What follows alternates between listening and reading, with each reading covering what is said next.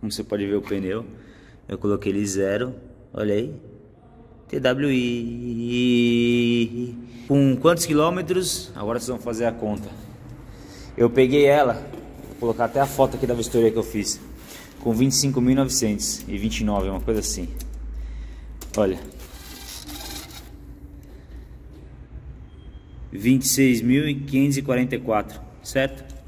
Então, acabou o pneu em 600 km, tá bom? Chola, fala uma coisa pra mim. Você gostou da, da, da quilometragem para trocar o pneu? Sensacional. O preço que tá, quero mais é que ele derreta. Esse pneu, deixa de beijar na boca. Você se impressionou? Eu também. Tá curtindo a série? Então tá, a Patrícia tá aí para trazer grandes aventuras e realmente foram 615 quilômetros até chegar no TWI. Só que a gente vai debater um pouco isso para entender, porque eu já tenho uma outra experiência que eu vou compartilhar também que foi bom pelo lado da durabilidade, uma vez que eu quero continuar usando um pneu de alta performance. Bom, muito bem. O que, que aconteceu? Eu sempre indiquei essas calibragens para vocês, só que eu andava de 600, né? Então a maioria dos meus pontos eram em cima de uma 600.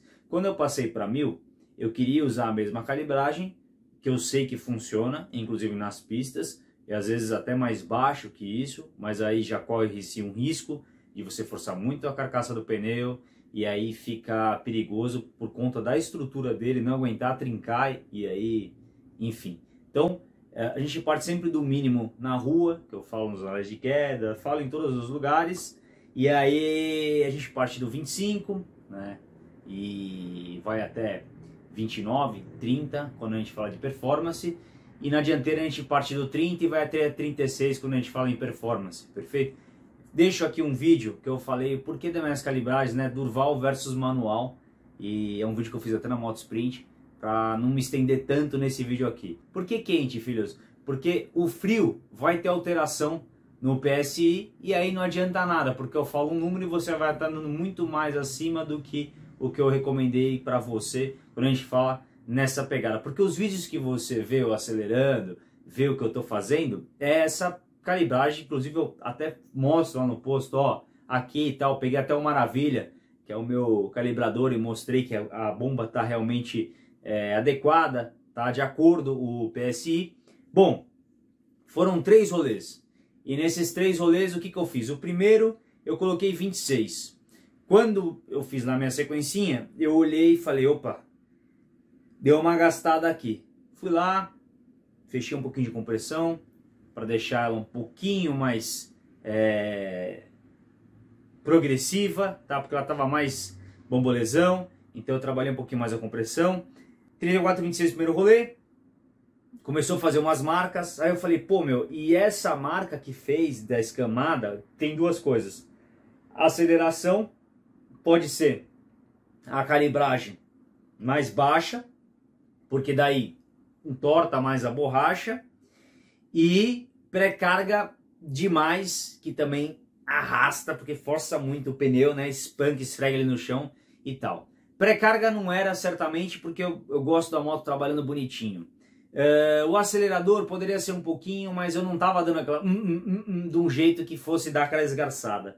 Então, o que eu pensei? Pista fria. Então, por mais que eu coloquei 26, como tinha pouco movimento, me roubava a libra. E certamente andando eu estava um pouquinho mais baixo. Tá? E às vezes você para para trocar uma ideia, tá não sei, não sei o que lá, aí murcha pra caraca. Quando volta não tá nos 26, ficou 24, 25. E aí o pneu dobra mais. Bom, nesse último rolê, eu trabalhei antes de, de, de, de ir fim, eu comecei a usar 27. Então foi um rolê 26, dois rolê 27. Traseiro quente e 34 da dianteira quente. E aí o pneu acabou com 615 km. Então o que, que eu quero falar para vocês? Num K3, que é o Metzeler, essa calibragem vai fazer com que você tenha segurança, mas vai embora o pneu. Perfeito? perfeito. Não é, é bacana ficar trocando pneu com 600 km, tá? Então, eu fiz agora um novo teste, eu coloquei o mesmo pneu, o Metzeler K3, e trabalhei com 28 quente na traseira. Então, 34, 28. E o pneu já ficou diferente. Olha aí, filhos, pneu com 300 rodado na calibragem 28. Então, do outro lado aqui também, ó. Dá pra você ter uma ideia aí. Então ficou bem melhor. Tá, então eu acredito que eu achei uma calibragem bacana.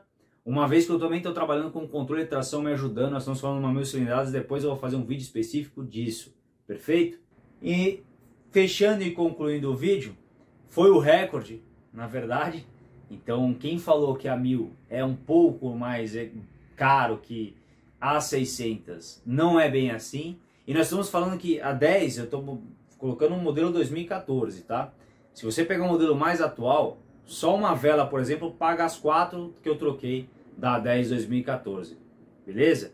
As X6 então nem se fala. Então, não comparem as X6, porque as X6 é um excelente custo-benefício nas 600, tá?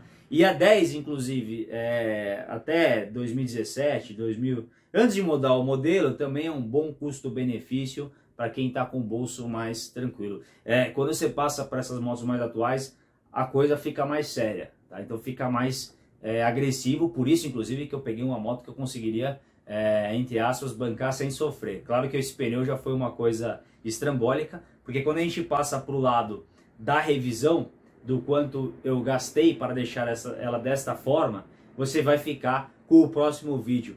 Então, nesse próximo vídeo, eu entro falando do gasto que eu fiz quando eu peguei, do é pegar e andar para deixar ela assim. Beleza, filhinhos? Então, tamo together. E aí fica com o sunset que é o final do rolê desse final de semana, já com a calibragem nova, que foi o 2834, e a moto estava fantástica.